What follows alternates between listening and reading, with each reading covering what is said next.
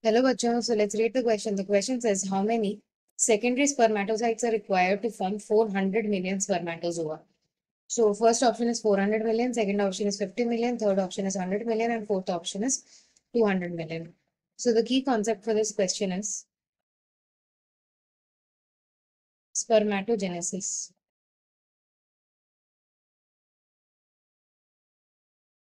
Spermatogenesis is basically the formation of the process of formation of the male gamete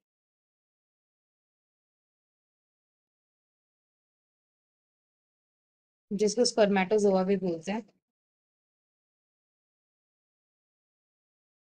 From the spermatogonia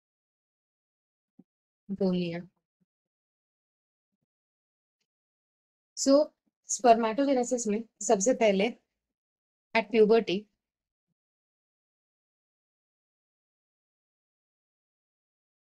जो spermatogonia होते हैं they undergo mitotic differentiation puberty के time पे जो spermatogonia होता है it undergoes mitosis and एक spermatogonia से और भी स्पर्मेटोगोनिया बनता है।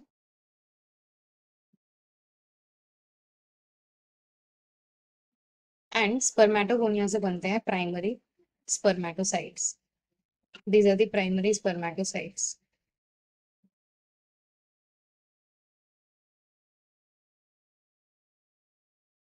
Primary spermatocyte से फ़र्स्ट मियोटिक डिवीज़न होता है मान लेते हैं, इस प्राइमरी स्पर्मेटोसाइट को लेके चलते हैं फ़र्स्ट मियोटिक डिवीज़न होगा इसमें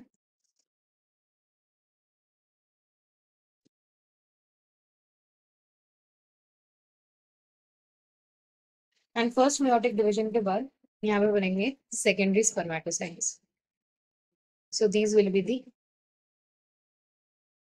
secondary spermatocytes. Secondary spermatocytes के आगे सेकेंड मियोटिक डिवीज़न होगा।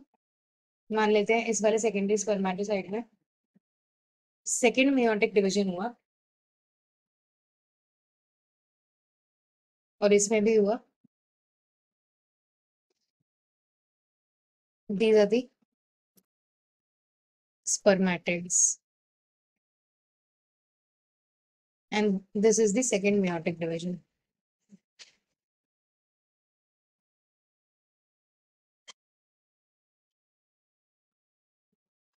spermatids जो होते हैं हर एक स्पर्मेटिड चार स्पर्मेटिड्स बने थे हमारे पास हर एक स्पर्मेटिड में डिफ्रेंसिएशन होता है।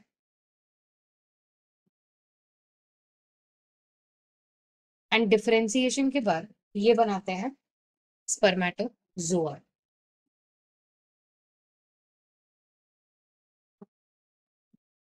स्पर्मेटो सो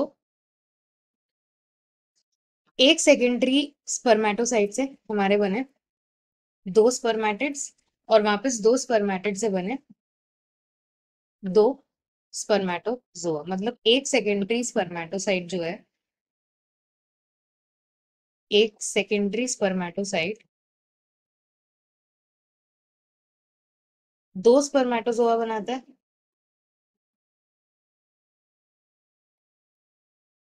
दैट मीन्स कि हमारे पास 400 मिलियन पूछा था कि 400 स्पर्मेटोजोआ जो है 400 million spermatozoa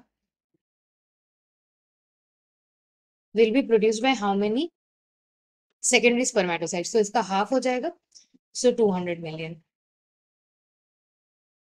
सो यहाँ पे क्वेश्चन में आते हैं। 200 मिलियन फोर्थ ऑप्शन में दिया हुआ है so the final answer for this question is option D hope you understood well best of luck